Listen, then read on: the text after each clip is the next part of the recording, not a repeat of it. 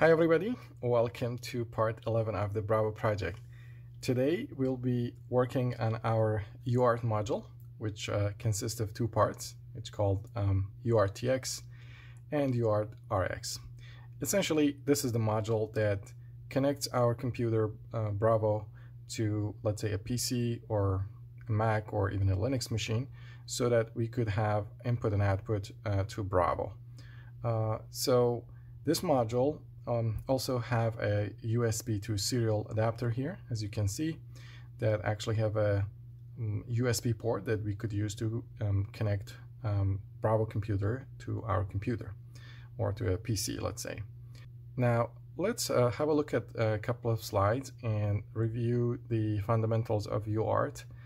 And then we're gonna look at the um, circuit logic behind the TX module uh, and then we're gonna build the whole uh, module, including the uh, TX and RX uh, part. But uh, in this video, we're gonna focus on the TX module and we're gonna basically test it and see how we could send out data from Bravo to the terminal. All right, with that, let's get started. All right, so let's say what is our goal here? Well, simply our goal here is really to be able to send and receive data to Bravo uh, from a computer, let's say uh, a PC or a Mac or a Linux machine. And essentially what we want to do is to use the uh, PC's keyboard to, you know, input some information and that data should be transferred to Bravo. And also when Bravo actually does some operation and have some output, that output should be sent to the PC's monitor. Now, in order to do that, we'll be using uh, a protocol called UART and also a terminal emulator program such as Teraterm, PuTTY, uh, etc.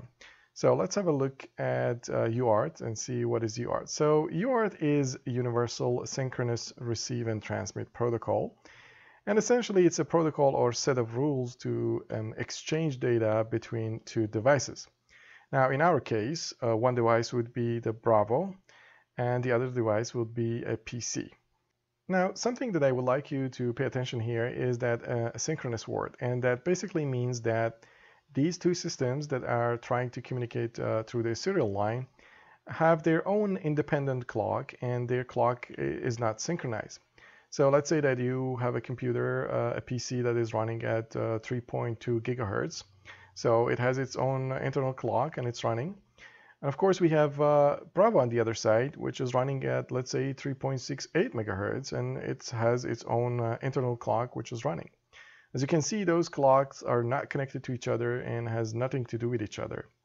Uh, therefore, they, uh, we call the system asynchronous, meaning that uh, the clocks are not synced across these uh, uh, you know communication channel. Now the other thing uh, which is important about the UART is that UART is a serial communication protocol, meaning that we are only having two lines to transfer data.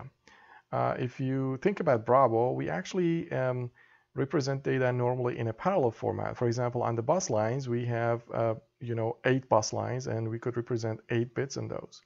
Uh, however, when we want to actually send or receive data, then we have to somehow uh, you know change that uh, parallel data to a serial because we're going to have uh, only one line uh, essentially which we need to let's say transmit data to the other side. Now um, also you see uh, on the screen that we actually have a USB to serial adapter here and the reason for that is most of the modern computers doesn't actually have a, a COM port or what they call it a serial port at the back of them or on the motherboard.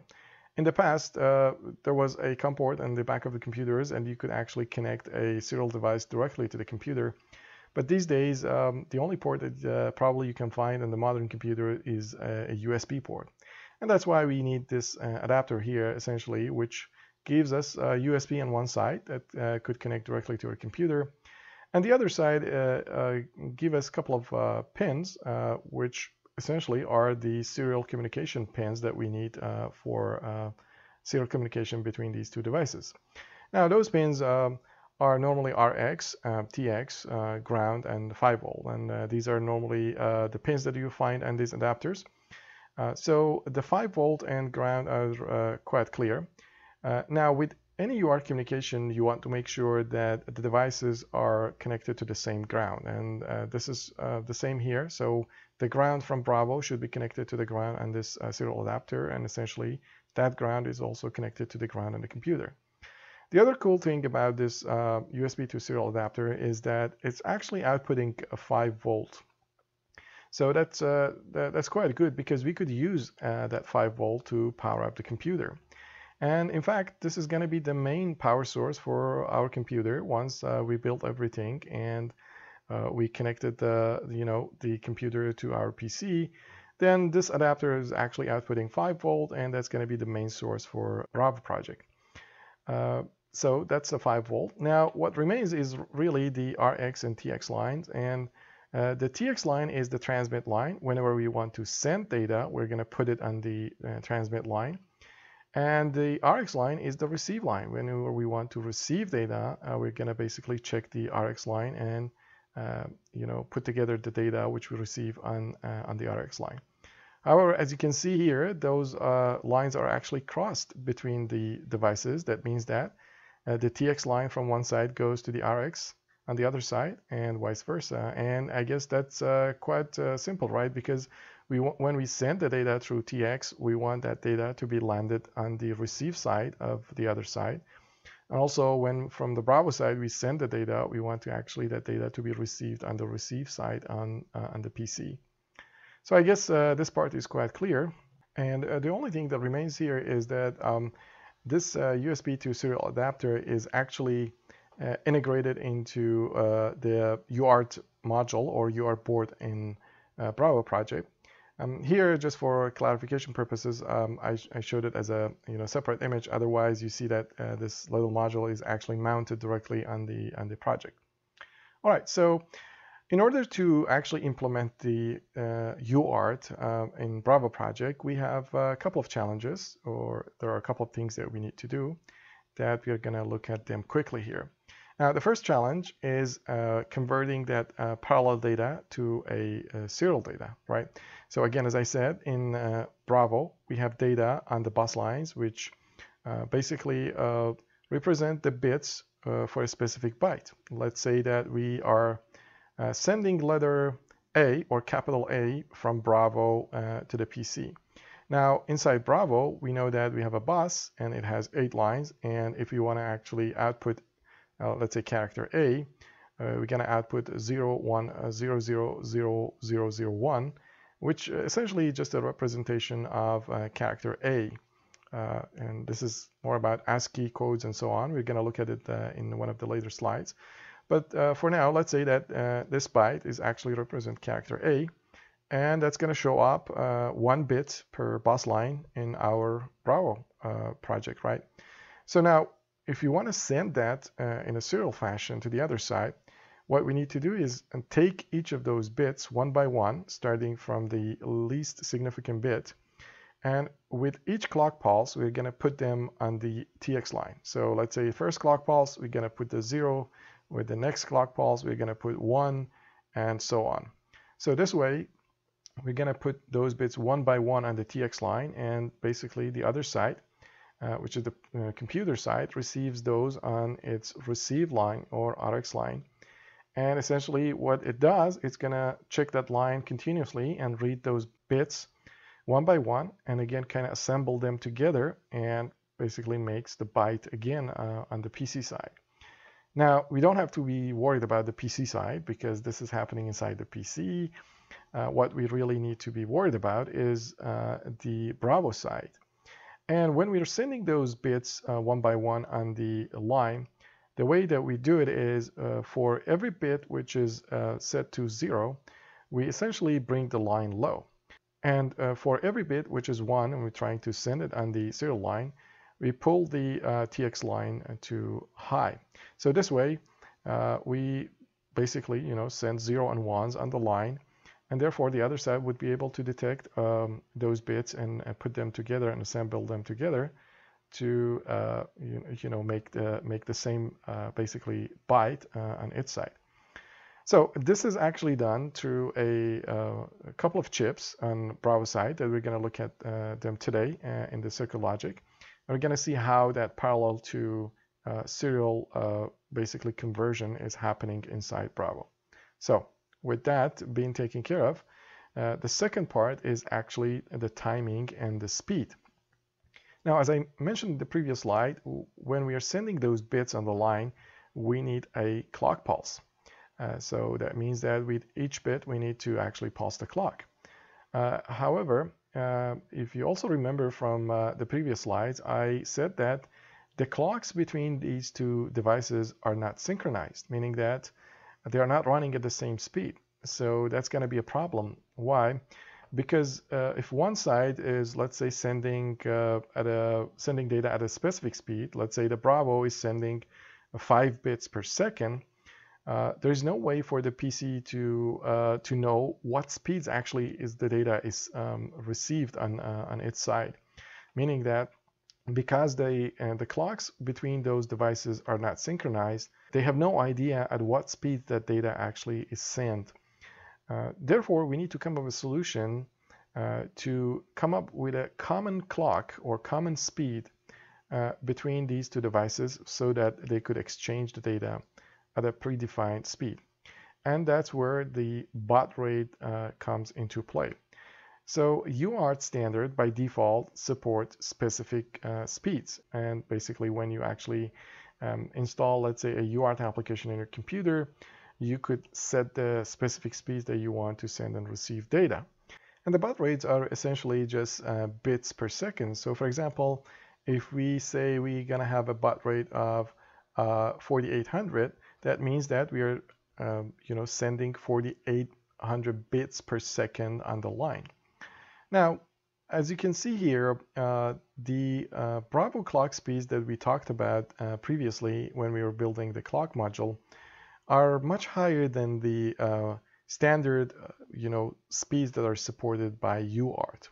Therefore, we have to actually uh, somehow change those speeds to a lower speed so that we could match you know the standard baud rates that are available for UART communication. Now going back to the uh, clock module, if you haven't watched that video, I will uh, recommend that you go back and watch the uh, clock module video. and I've talked about the fact that we have a crystal oscillator running at 3.68 megahertz, and that oscillator is actually outputting the clock to another chip, which is a 74HC161 that we use it as a clock divider. And if you remember, we had a set of pins there that we could actually, using a jumper cap, change the output uh, clock that goes into computer using those, uh, those jumpers. So for example, if we shorted the first set of pins on this uh, clock selector, we were actually uh, outputting the uh, original clock uh, from the oscillator, which was 3.6864 megahertz. However, if we have shorted the next set of pins, which was slash 2, that would actually divide the uh, 3.6864 by 2, and therefore our clock speed for the computer would be 1.84 megahertz. Uh, and so on. So depending on the you know set of pins that you select uh, on that uh, clock rate selector, we could have different uh, clock speeds output from our clock module. Now that speed that is actually outputting from clock module will be the main clock speed for the whole computer. Uh, however, as I said, uh, here we have an exception for UART. We need to actually go to much lower speeds.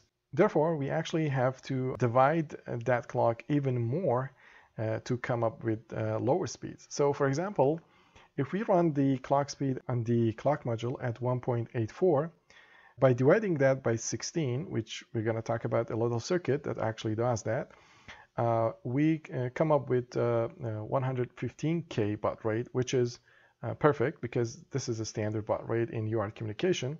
And what we could do, we could set that speed on the uh, PC side. And also we could, you know, select that specific speed using this, um, you know, clock rate selector here on our clock module. And therefore we are having a matching speed um, uh, from our UART module uh, in Bravo uh, to the computer. So that's how we match the speeds between Bravo and the computer for UART communication. But again, I'm emphasizing the point that uh, this uh, final division here is only happening in the UART module. The rest of the computer will be still running at whatever speed you uh, choose from that uh, clock rate selector.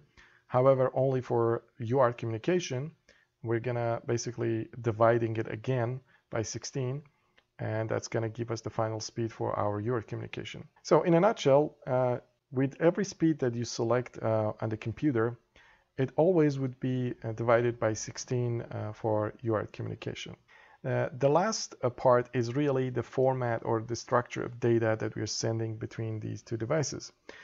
Now, uh, the key here is that when we are sending and receiving data between those two devices, there should be a way for these devices to detect when actually the data is sent and how to detect the beginning and end of a, let's say, data frame.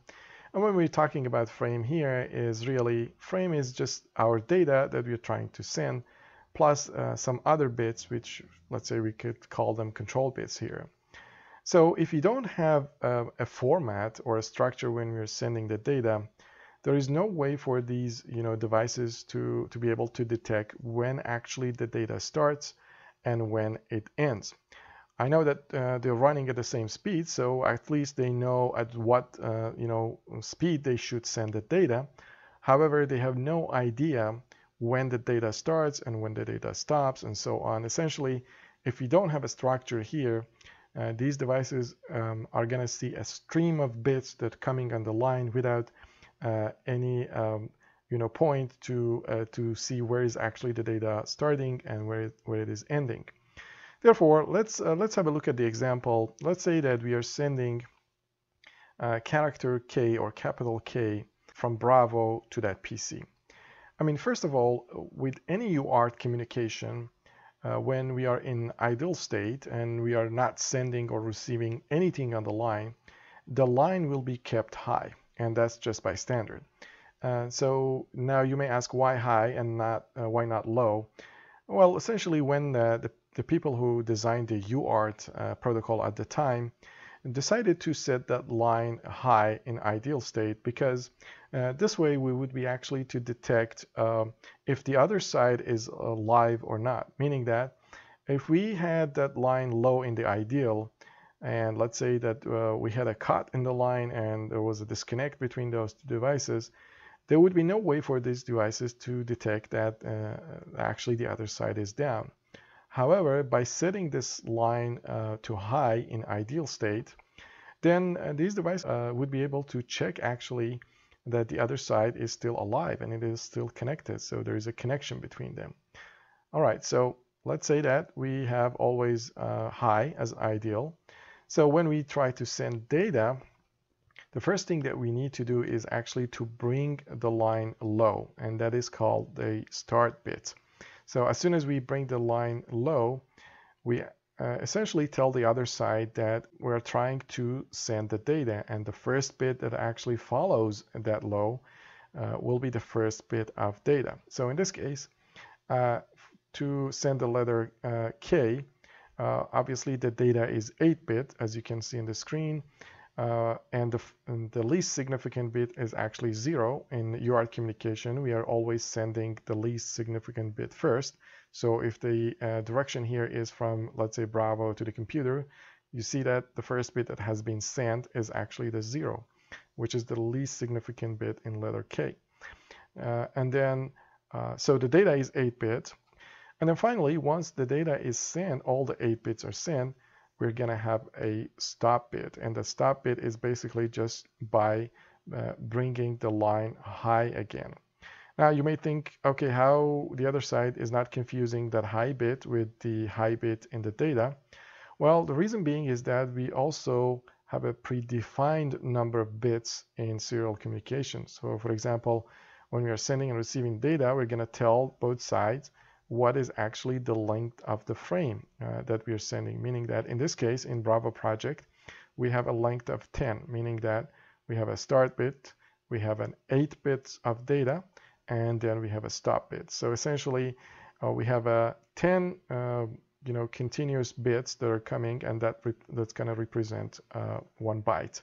All right, so with that, uh, let's just have a look at the uh, Bravo project uh, serial communication specifications.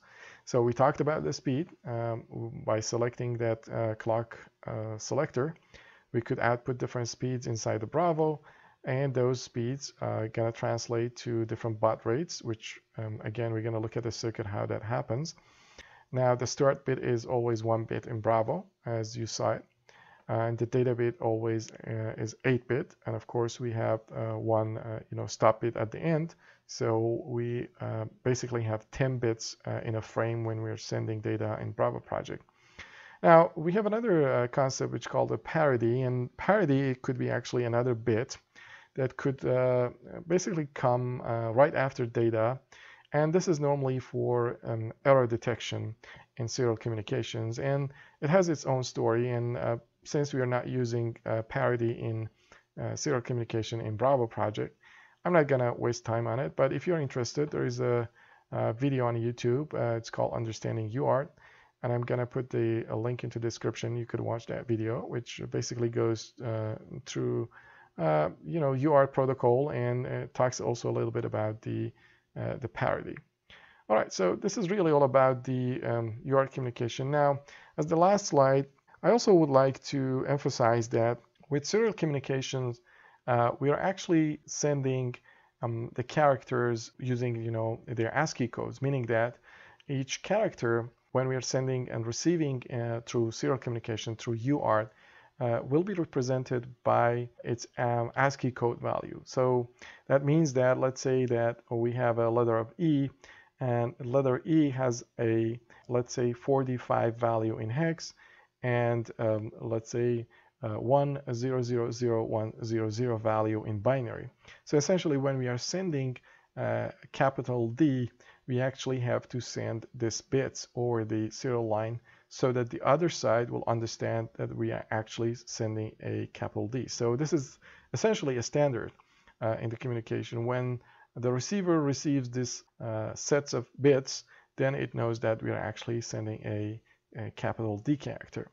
Uh, now, one challenge with this method is uh, uh, that the fact that we are actually sending the numbers in the same way. And uh, the numbers will be a little bit challenging later because uh, they are not represented with the equivalent binary of the value of that number. Meaning that, uh, for example, we're sending character 0 here. And if you think about 0, 0 in binary actually will be um, all 8 bits to 0. However, here, uh, this is actually represented as a character. Let's think about it as a um, text or a string. Therefore, we, uh, as you can see, we have a different uh, representation of character 0, which is, uh, you know, 0000110. So I hope that uh, this is not confusing here. Essentially, think about those as text or as, uh, you know, characters rather than being numbers here. And if you really want to do any uh, mathematic operation on these uh, characters, uh, first you need to convert those to you know equal uh, value in in let's say decimal or in binary before doing the uh, mathematic operation. So with that, I guess we are done with the slides. I hope that it helped you guys a little bit in understanding UART. I tried to simplify uh, everything here. Now let's move on and have a look at the circuit behind our TX or transmit module and see how it works. Um, essentially, we could divide uh, this circuit into two parts. Uh, one part is uh, simply a, a, clock divider, uh, which is managed uh, using a single 74HC161 chip. And we also have two other chips, which are 74HC165s here on the right-hand side, which are taking care of two things for us here.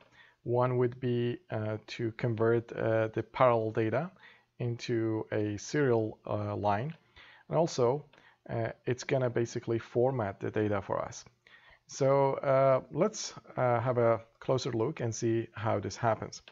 Now, on the clock side, um, as I mentioned in the slides, the challenge was to basically reduce the clock speed in the computer to a lower speed so that we could match it uh, with the standard UART um, baud rates, right?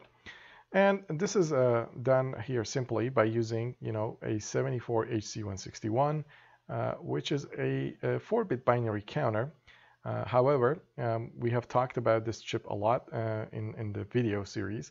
And if you remember uh, from the clock module video, um, we actually talked about how to use this chip to um, divide the clock. So the same thing is uh, um, happening here. Essentially, uh, as you can see on the input side uh, on this chip, uh, D0 to D3, uh, all of them are tied to ground. And uh, we are not actually inputting anything into this chip. And even if you look at the parallel in enable or parallel enable line, this line is actually an active low line However, we tied it to high. That means that we are not reading anything on the input side. So this chip uh, really uh, just will be a counting chip here for us. And as you can see, the pin number 7 and 10, which are the uh, count enabled uh, pins, are and they are active high pins, are actually tied to 5 volt. That means that this chip uh, will be counting if it receives a clock pulse on pin number 2.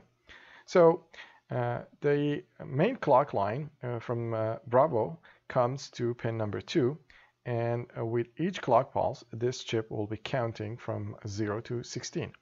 Now if you look at the output side uh, you see that we are not actually outputting anything from bit 0, 1 and 2.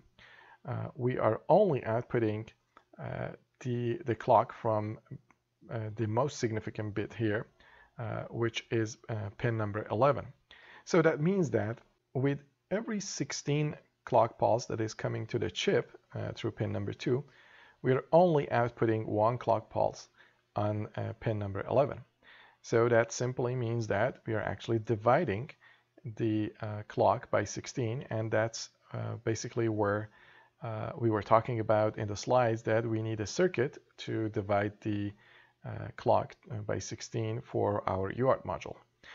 Now, if you have noticed, um, we also have the master reset line and this chip connected to some other lines.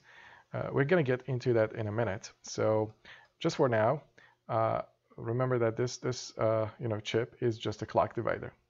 Now, the output of this uh, clock divider is essentially going to a pair of 74 HC165s uh, which are essentially uh, the chips that uh, do the parallel to serial conversion for us. Now, let's say how these chips work. Now, these chips, as you can see, have some input lines from D0 to D7. And these are essentially uh, parallel to serial shift registers, uh, which means that uh, they will be putting the values of the input lines on a single output line uh, and also at the same time they will be shifting the values to the most significant bit. So what does it mean?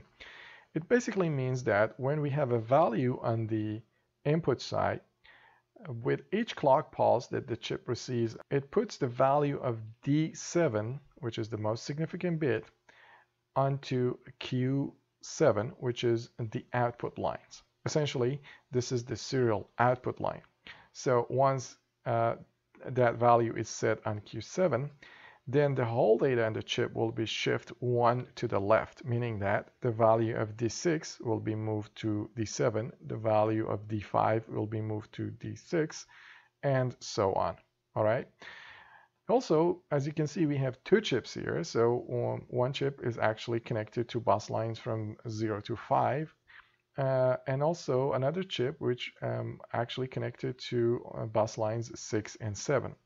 However, if you look at the chip on the right hand side, the output of that chip, the serial output of that chip is actually cascaded to the uh, serial in of the chip on the left hand side. That means that when this chip is actually shifting the data, uh, in fact, it's sending those value to the next chip in line, which is chip on the left.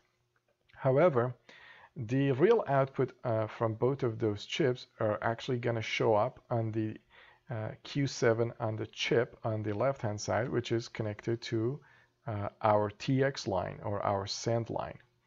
And I'm going to uh, give you an example uh, shortly so that you can see actually how the whole thing works. But for now, I just wanted to mention that this is actually a shift register and also um, uh, basically a parallel to serial. So let's say that we have a value uh, on the bus and we want to uh, send that value in a serial fashion uh, through our TX line. So the first thing that we're going to do, obviously, we're going to set the value on the bus line. Now, if you have noticed here, you see that the D7 and D6 pins on, on this chip here is actually not connected to the bus, right? The D7 is connected to 5 volt directly, so that means high. The D6 is actually connected to ground. And then we are starting from D5 to um, actually uh, have the data lines um, connected. So these two bits are in fact our control bits um, uh, when we are trying to format the data. Uh, the D7 is actually high because this is the one bit before uh, basically sending the data or basically sending the start bit. And D6 here is in fact our start bit. So let's say that we set a value on the bus and now we're ready to send the data. And I'm going to talk about that, how that's going to happen uh, through the circuit here. But let's say that we're trying to send the, this data. So with the first clock pulse that's coming to the chip, this chip is actually going to put uh, the value of D6 on the output line of Q7. So that's the first bit, but this is high. So nothing's going to happen because high is high and uh, because by default the serial line is high, uh, that doesn't uh, specifically mean anything. However, this is important to have it here because that's going to be actually a, a byte separator between this byte and the next byte which is coming in the line all right so let's assume that the first byte really doesn't do anything. However, it's just a high byte that we're sending. Now, with the second bit, once this has been shifted to D7, because again, remember, this is a shift register. So it's gonna, it's gonna basically shift the next byte to D7, which is a low line always. And once this shifted, then that byte will be put on the um, TX line. And that's actually signal the start bit or basically tells uh, the other side, oh, we have a start bit here. So you should expect the data right after that bit. And as you can see, the next uh, bits uh, here are all data. So those, those uh, bits are shifted one by one to the you know D7, and then it's going to be basically put on the TX line and sent at the clock speed that we have uh, agreed upon uh, for UART communication. The other thing that I have to mention here is the rest of the lines on the second chip, as you can see, are all tied to um, high. And that means that we are actually setting all of those to one. And this is, uh, this is okay because, as I mentioned before, when we are actually not sending and receiving and the line is um, ideal in serial communication, we want to just send ones. And that's why all of those lines uh, are set uh, to one so basically we're we're not sending anything, we're just sending ones, which from a serial communication perspective is just uh, ideal line. Now let's uh, focus on the control signals for, for the circuit. So we actually have a single um, TI signal which we'll be using to uh, control our um, TX uh, communication here. And as you can see uh, that TI signal, which is uh, coming uh, from our control logic, which we'll be talking about that later, uh, is combined with the original clock signal from our clock module. And what is happening here is that both of those signals are coming to a NAND gate here. And you know that the uh, output of the, a NAND gate will be low only when both of the inputs are high. Now, the clock signal is going high and low all the time, right? So uh, it all depends on the TI signal to actually uh, be able to activate um, this NAND gate and output a um, low signal here. Now, by default, uh, because the TI signal is low, no matter what happens to clock, if it goes high or low, uh, the output of uh, this circuit will always be high. Now, this signal is coming to clock divider, and also it is also coming to uh, parallel line input um, on these chips, which essentially controls uh, when these chips will be reading the um, input side from the bus. So now when this line is high, uh, it is connected to the master reset of this chip here. So that means that, uh, you know, the master reset on this chip is actually an active low signal. So if you wanted to reset the chip, we need to set it to low. So when this line is actually high by default, that means that we are not resetting this, this uh, uh, circuit here. And this counter will be active and it will be counting all the time. And when it's counting all the time, because we still have not set any data on the bus and we have also these lines all connected to one, essentially all the input lines on these chips are set to one. And that means that these two chips also will be outputting one all the time on the TX line. Essentially, we just keep the TX line high without any data being on it. Also, if you look at it, this the same signal is actually coming to a parallel line on these two chips. And the parallel input line uh, on these chips are also an active low pin, meaning that when we actually want to read something from the bus, we actually need to bring this line low. However, by default, it's high, so these chips are not reading anything from the bus. They're just outputting one. Now, as soon as we bring the TI signal high, then the whole thing's going to change. So that means that when the TI signal is actually going high, on the next rising edge of the clock, this NAND gate will be outputting zero on the output side. So essentially brings the output low. And when this line goes low, a couple of things going to happen.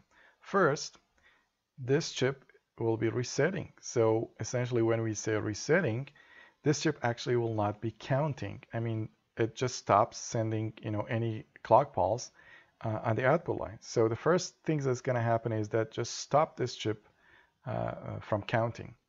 The next thing that's going to happen is that both of those parallel input lines and, and these two chips are going to go low. And that's what we need when we try to read the data from the bus. So essentially that goes low, that goes low, and at that moment, the data which is on the bus will be read in into those chips.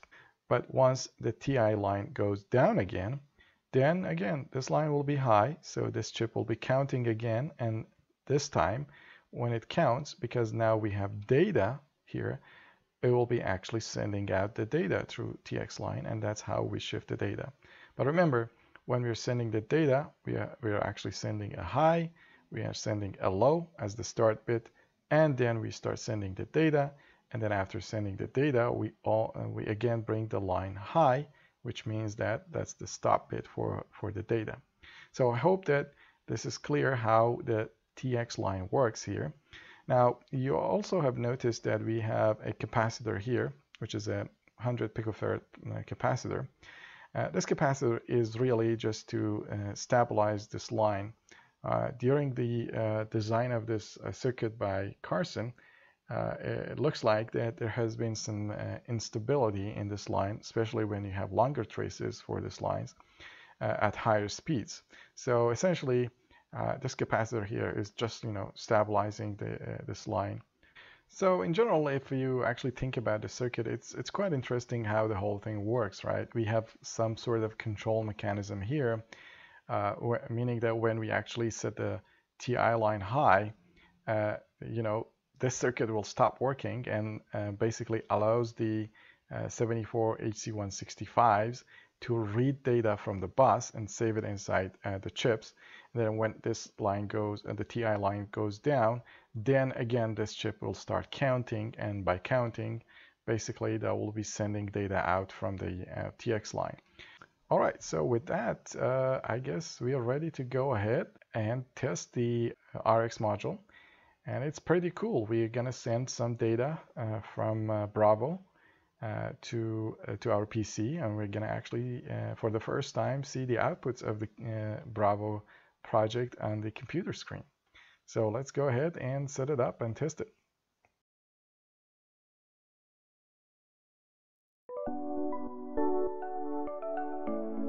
All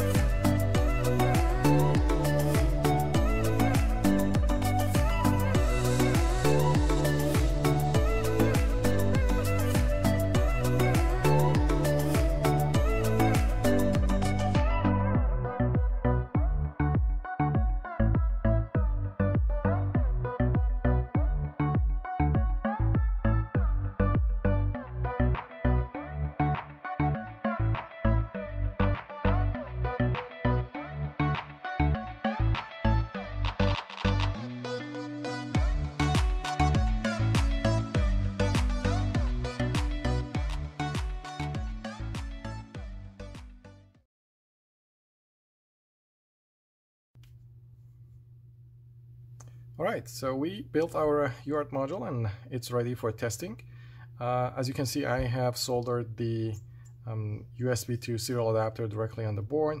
And mm, however, uh, we have uh, you know these pins that are a little bit long and essentially it's uh, in the way of these uh, this specific capacitor. So as I have mentioned also in the soldering video, there are two solutions to that. One is uh, you know just to cut short these pins or just like me, if you don't want to cut them, you could just bend them so that they um, they don't block the the capacitor.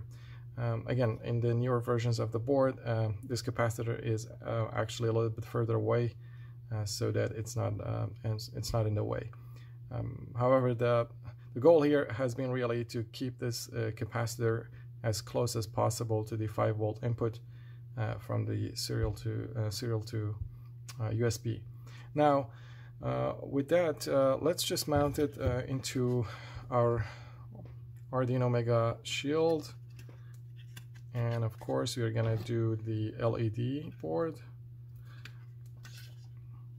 Now uh, if you have noticed now we actually have um, two USB connections uh, here. One would be uh, to connect to the UART obviously um, you want to you know connect um, this board to our computer so that we could have uh, serial communication uh, with Bravo we also had the Arduino Mega so for uh, this video and the next video that we will be testing uh, the uh, UART module, we actually need uh, both of those USB connections to be connected. Uh, however, if you remember from the previous video, we were actually using the Arduino Mega uh, to power up the whole system using the USB port.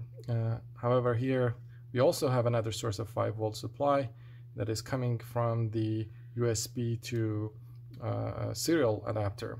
So you may think how it is possible. Well, the good news is that uh, you know the Arduino Mega uh, has uh, basically a voltage regulator uh, that allows us to actually power it up through a different uh, power source, which in, in this case would be uh, this adapter.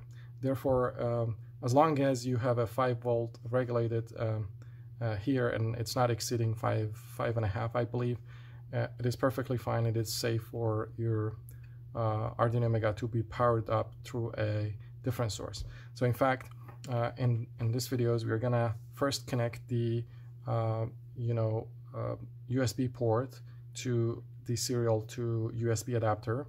And that will basically uh, power up the whole unit, uh, including the Arduino Mega. And also after that, we will be connecting the, the USB port to the Arduino Mega. So in this case, uh, the Arduino Mega is already powered up, so essentially the USB port that you'll be connecting to Arduino Mega will be only for um, data exchange between uh, the computer when you are uploading or when you're running uh, the sketches and so on. So uh, just make sure that you first connect uh, the micro USB to the serial adapter and then you connect the USB port to the Arduino Mega. I guess that's that's really all about it. So let's go ahead and have a look at the sketch and then we're gonna run some tests and we're gonna send actually data from uh, Bravo into the serial application in the computer. All right, so let's uh, test the TX module. As you can see, I have opened the Arduino uh, sketch on the left-hand side of the screen and I have Tera Term open on the right-hand side of the screen. So uh, Tera Term, as I mentioned before, is an open source uh, terminal emulator program. You can download it and install it on your PC, and uh, you could make a terminal connection to Bravo. Now, something uh, that is important here is that uh, we are actually connecting both the Arduino Mega Shield and also the um, USB to serial adapter here at the same time. And uh, if you look at uh, my system, for example, you see that the uh, Arduino Mega is actually detected as uh, COM3 and uh, my Tera Term is actually connected to uh, COM6. So uh, those COM ports could be different on your system depending on how your system detects the USB ports. But again, I just wanted to mention that you need to have both COM ports detected and be connected at this point of time. All right, so the Arduino sketch is actually quite simple. Uh, as you can see, these are the just the general functions that we have talked about before.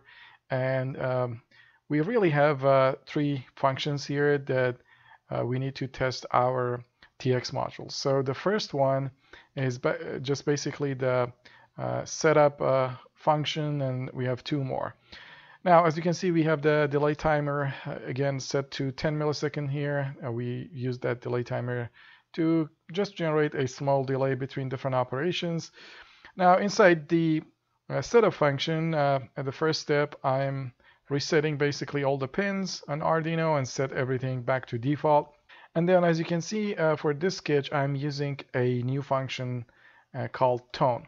Tone is a standard Arduino function and in fact, if you look at the documentation, which are here, uh, you see that it says that uh, the tone function generates a square wave of the specified frequency on a pin. So this is great uh, because this is uh, what we need. We just need to uh, have uh, a clock pulse running on one of our pins and that's gonna do it for us. So let's go back to the sketch and see uh, what how we could use this function. So uh, if you uh, look at uh, this line, you see that I have the tone function and I'm passing a pin and also a frequency. Now the clock pin uh, uh, is the same pin that we have been using for clock pulses in, in the previous sketches and I guess you should be familiar with that pin by now. This is actually pin number two in our Arduino Mega defined as clock. And in the previous sketches, we were using a function called uh, pulse the clock or clock pulse, something like that. That what we were doing, we are just basically doing a, a, digital write high, and then we waited for a delay, and then digital write low. So this way we were uh, kind of creating a clock pulse. Uh, however, here, as you can see, I'm replacing that function with the uh, tone function, and the reason being is that uh, we need a little bit higher speeds here uh, on our uh, uh, clock pulses. Essentially, because we need to match the baud rate for the serial communication, we need a little bit higher clock speeds here. And using those digital write high and low uh, couldn't give us uh, that high speed that we need here. Uh, all of those are you know functions that are running in the background and basically just you know takes a lot of time to be executed. So the best way to implement that is really to use the tone function. Now, as you can see, once you uh, you know specify the pin and a frequency from that moment, the uh, this pin actually will be outputting a clock pulse at that speed. And speed here is 38,400. That means that we are actually uh, generating 38,400 clock pulse uh, per second. Now, the clock pin uh, is essentially connected, obviously, to all the clock pins inside Bravo. So uh, when we are sending this, this clock pulses, it's going to be received by all modules, including our uh, UART module. However, something important here to mention is that, uh, remember, this is the main clock pulse that is coming to UART module. If you remember from the uh, uh, circuit, this is actually this clock pulse that's coming into uh, the clock divider. So uh, that means that uh, that clock actually is divided by 16 when it reaches our parallel to serial inverters or converter chips. So therefore, we have to actually divide that by 16 and that's going to give us the baud rate. So in fact, if you look at my uh, setup, and that's how you uh, basically um, you know make changes in the setup of your Tera Term, you go to serial port, and as you can see, uh, these are all the parameters that we talked about uh, for serial communication when uh, we were looking at the slides. Uh, and as you can see, uh, for example, this is connected to um, COM6 port, and the baud rate, uh, as you can see, is 2400, which means that we have actually divided this clock pulse by 16. And then the data, as you can see, is 8 bits, and the stop bit is actually 1 bit, and we're not using any parity. Now, if you have noticed here, um, there is no uh, settings for the start bit, and uh, that's because start bits uh, will be always one bit. So obviously we cannot change that, but uh, you know you could uh, change the rest of the configuration here and set it to your specification uh, that you need. Now, this line is really all about generating that clock pulse at high speed and and that's going to be continuously running on our clock pin. Now, uh, the next line is really just set the bus pins to output because we would like to actually write some data to those bus pins. And uh, finally, we have a transmit call or a call to a function called transmit that you can see here. And we specify a value or we pass a value into it. Now, looking at the uh, transmit function, you say that um, uh, basically we get that value that we are passing to it and we writing that to the bus. And I guess uh, write to bus function should be uh, quite familiar by now. this is essentially the function that uh, you know takes any value and uh, convert it to bits and then write the bits on bus lines one by one and then you know shift the uh, bits to the left and repeat the same process until all the bits are actually set on the bus lines. So we get that value, we write it on the bus, and as you can see, it's quite simple. The only thing that we need to do at this point is really to do a digital write on the TI signal. Uh, we make it high, and then we wait for a short delay, and then uh, again, we bring that line down. So if you go back to the uh, circuit, you remember that we had a TI signal, and that's uh, what we do. We just, you know, take that high, uh, and then uh, once we did that, you know, the data on the bus will be Uh, written into uh, these uh, two chips. And then once we bring it down, then it will start sending those bits one by one on the on the serial line. So I guess we are ready to run the sketch now. And as you can see, I'm just passing the value of 65 uh, to the transmit function. And a value of 65 is in fact a capital character A. So going back to the ASCII table, uh, if you look at uh, capital A, you see that that actually have a value of uh, 65 in decimal. And that's what we're passing. So the expectation here is that uh, the, the value 65 is actually sent to a transmit function and uh, we uh, should see character A or capital A on the screen. So let's let's check this sketch and upload it and see what will happen. All right, as you can see, we have uh, character A printed on the screen. All right, so looks good. Now, maybe we could just do a little bit more here. So let's uh, let's create another function here. Maybe you could call it uh, test transmit, and we could basically just uh, maybe we could do a for loop inside here. So let's say for you know integer i equal to let's say 0 and then we could just say i less than let's say 50 and then we could do you know i plus equal to 1 we're adding 1 and then we just need to you know move this transmit function there and maybe here we could just say test transmit rather than. So what I'm trying to do is uh, essentially just create a loop inside another function so that we you know print this character multiple times on the screen. So uh, test transmit is going to go from 0 to let's say 50 and then it's gonna you know uh, transmit or call the transmit function each time and send the uh, value of 65 so let's see let's see how this works. So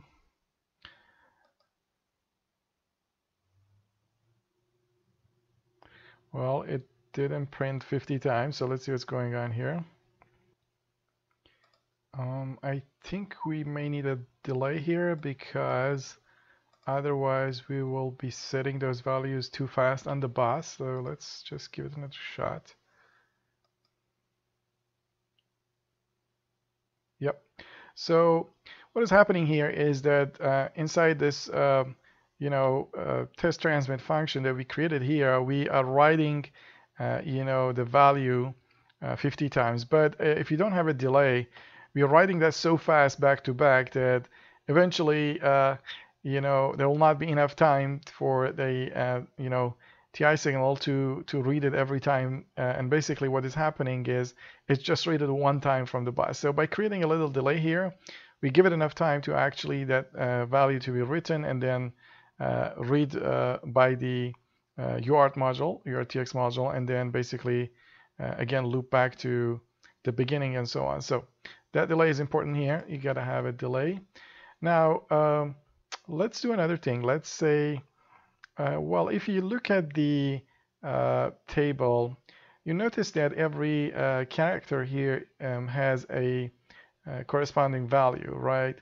So, but if you if you look at it, there are also some values for other uh, functions or other, let's say, keys, such as let's say uh, delete or tab key or uh, enter key and so on. So uh, the alphanumeric characters are actually starting from value decimal value of 32 and looks like it's going all the way up to a value of 126 right? So if you actually want to print uh, the uh, alphanumeric uh, characters on the screen uh, we could just send uh, uh, all these values to our transmit function. So let's do that. Let's let's go back to this function and instead of going from zero we could set the uh, initial value to 33 and then we could say go to all the way to 126 and each time you know uh, move up one. And then instead of just uh, sending a static value here at 65 uh, we could just you know send i right? So this way uh, each time we send a different character to be printed on the screen. All right so let me just uh, you know clear the screen here and see what will happen. Let's check that.